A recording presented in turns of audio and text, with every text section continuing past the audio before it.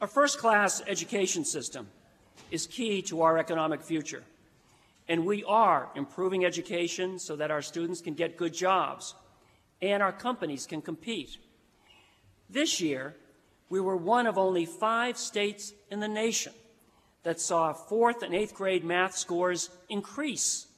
That's something of which we should be very proud.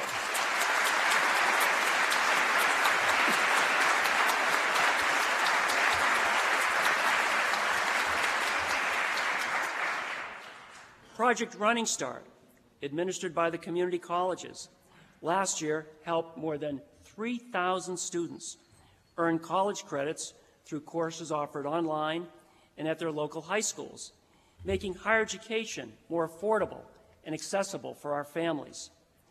And for the first time ever, when school opened in New Hampshire this year, every child in every community could attend public kindergarten.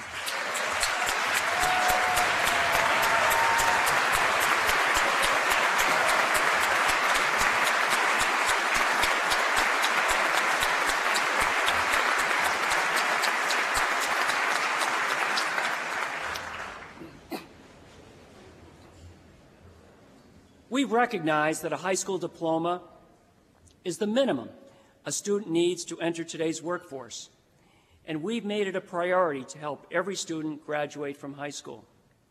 Beginning this year, the compulsory attendance age is now 18, a change that is already reducing our dropout rate and sending a strong message to our children about the importance of a high school diploma. To help more children succeed, We've expanded alternative education, offering students options for night school, real-world learning, or to earn GEDs. I'm proud to announce today that our efforts are showing results. The number of our students dropping out of high school decreased by more than 30% just last year.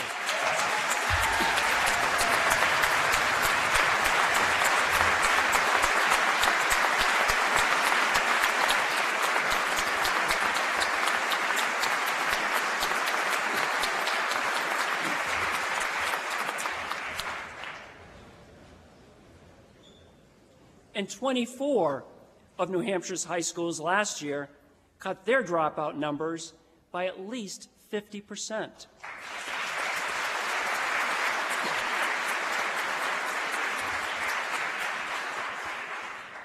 At the Manchester Pass program and other alternative learning programs across the state, I have met students who were ready to drop out until we gave them a chance to earn their high school diplomas in a way that works for them. Now, these same students are going on to college or getting good jobs. We are going to give every child in New Hampshire that same chance to succeed. We cannot and we will not be satisfied until all New Hampshire students graduate from high school.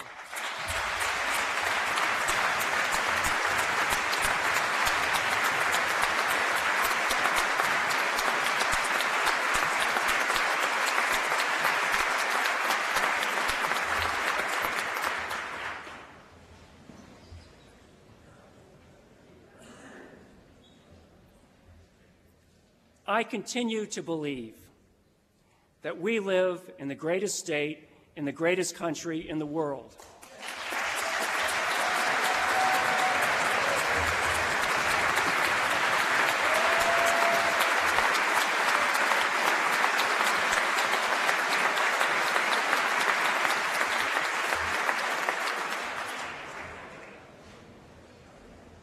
New Hampshire continuously ranks as one of the safest states, one of the healthiest states, and one of the best states to start and grow a business.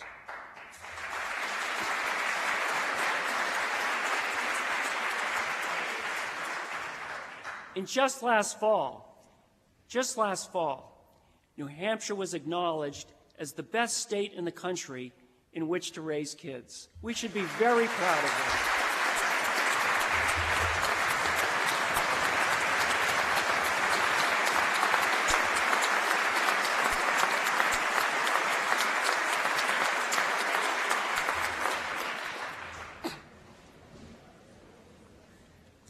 New Hampshire has weathered the economic storms of the past two years better than most.